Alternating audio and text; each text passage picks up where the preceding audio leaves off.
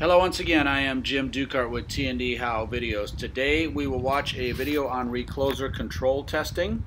Our participating utility is Commonwealth Edison in Chicago and this video is sponsored by Omicron.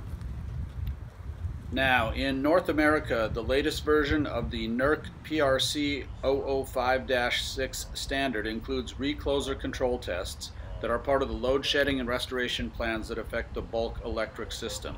All automatic reclosers affecting the BES must be maintained and tested for evidence retention, monitoring, and assessment processes in accordance with the standard.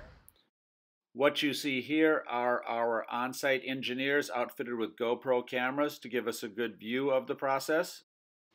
And they are signing their job safety briefing before going to work. You're going to see next the equipment being used.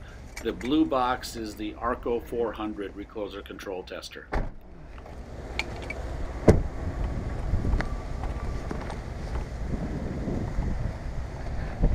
ARCO 400. Okay, you want to get the door? Yep, we'll go ahead and we'll make sure we're open. The door we are first closed, fast trip, loop scheme disabled. So we want to come back into the same configuration when we're done. Our recloser is bypassed, so we won't have any impact on the load downstream. So go ahead and disconnect from the Isolate the control cable. Good. Control cable's out. All right. Now safe. let me hook up the safe end first. Okay, she's in. Okay, here you go. Step two. Here you'll see the sequence, always plugging in dead first. On. Okay, gonna go give us some accessory power. Control power. Go ahead, plug your side in dead. Okay, Coming hot. Now, upon starting up the ARCO, it will configure itself, and the line worker performs a trip and close check through the controller front panel to see if the recloser control is doing this basic function. You see that here on the front panel of the ARCO 400. You got all three open here. Okay. And now let's go back to the truck where you can see that the ARCO 400 can be operated wirelessly from the truck and do metering tests with three-phase currents and six-phase voltages. Okay. Beginning test. Getting test. Test started. 10-4. Okay, I show currents. I've got alpha phase current, 44.9 amps. Bravo phase, 47.8. Charlie phase, 49.9 amps. Looks good. Let's proceed to uh, source Okay, bushings. Neutral current, 4.3 amps.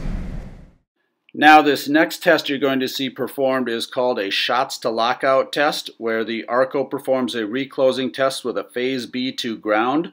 And here we're going to bring in the front panel of the ARCO itself and you can see that it starts with a single phase reclosing and in the last test it will lock out three phase. And now the last test we are going to show in this video is called a three-phase time current curve coordination where the ARCO tests on both the fast and slow curve. Here we see two operations on the fast and two on the slow curve. And the results are automatically assessed on screen as the test is performed. Now let's look at overall results with our test report. So here's our test report. We've got a. This is the test recloser we had on Iron Street here at the test facility with our 651R. You can see we had the ARCO 400. As shown here, test results are available immediately in the truck. Assessment. All okay.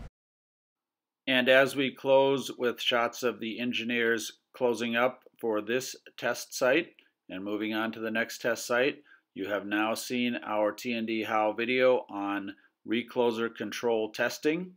Once again, our participating utility was Commonwealth Edison, and this video was sponsored by Omicron.